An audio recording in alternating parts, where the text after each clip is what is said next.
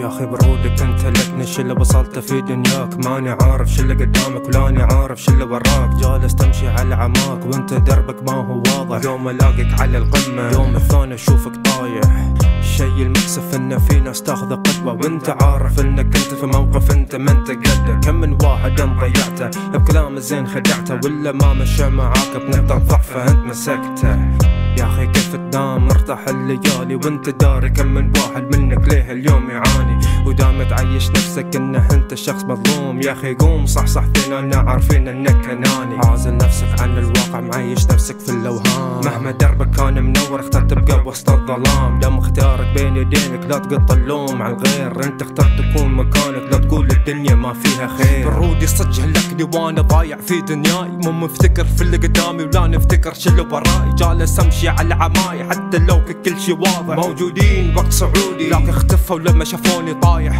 وأنا عمري ما اخترت ان أكون قدوة. انحطيت في مواقف لكن ما في موقف ما كنت قده ولا تلومني عنهم. كل واحد مسؤول عن نفسه. كل واحد منهم واعي وقادر إني يختار بنفسه. وانت جاي تسألني كيف أنا مرتاح. الليالي حط عينك قول لي متى شفت الراحة فيني.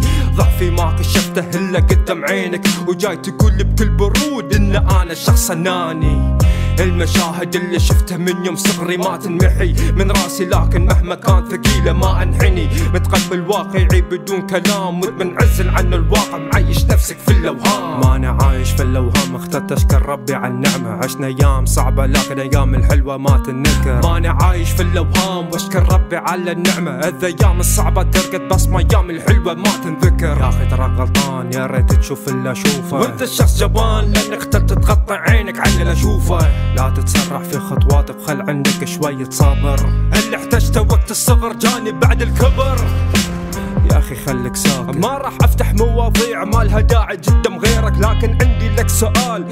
طول هالفترة وينك؟ لما صارت المصيبة كنت أحترق وأنت ساكت. لازم تفهم شنو الفرق بين الساكت والمصدوم. وأنا شنو ذنبي إذا كنت أحترق كل يوم؟ طول هالفترة دورت حل ولا يمكن شخص فهمني الوقت يعدي وأنا ما زلت قاعد أكلم نفسي. أغلاطي من أغلاطك. أفعالك من أفعالي. مهما اختلفنا أنا وأنت متفقين إن ربنا واحد. في النهاية راح نشوف من بشد الثاني. مهما لفنا درنا راح نتحاسب في قبر واحد.